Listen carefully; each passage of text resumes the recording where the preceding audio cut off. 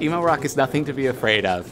It's like a kind of, you know, post-punk rock music where you have boys and bands who are like really upset about things and singing very heartfelt. It's called emo because it's very emotional.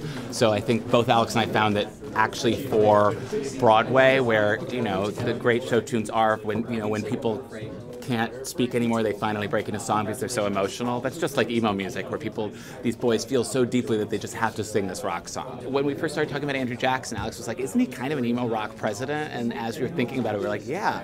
And so I, I was a fan of some emo bands, but then once we came up with the idea, I did a copious amount of research. So my, my i, uh, my iPod is full now of lots of emo music, some of it terrible, but a few of the bands that we love, that I love, are Dashboard Confessional and Weezer and Fall Boy, all of which have contributed to the way I've written score. He's incredibly angry and passionate and upset about something. He's not always sure what he's angry and passionate and upset about, but he knows that he's really angry.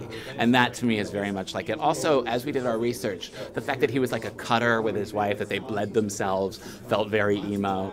And so the more research we did, the more we discovered, in fact, that he was even more emo than we thought. I tend to be a throw things at the wall until they stick kind of guy, so you kind of write things and find what works, and as you learn that, you keep going. But I don't know. I, I tend to work not in a very systematic way.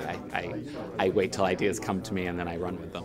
We had written the first version of the show, which Ben then saw a workshop of and approached us about, talked to it. that was up at the Williamstown Theater Festival, and he came and said, you know, this is something I'd be interested in talking to you guys about. And so, in some ways, I think we found the character that we were conceiving. We actually found the perfect leading man to embody an idea we had in our head, where both of us have been like, who would ever play this role? Who could we ever find who's tall and handsome and can sing and is such a good actor and is funny and scary and all those great things. So we've made some changes, and obviously the move to a bigger space, to Uptown, in the design and the sound of the show, in even the writing, we want to make sure that you know we're polishing the show to the shiniest place it can be to, to give the audience their money's worth.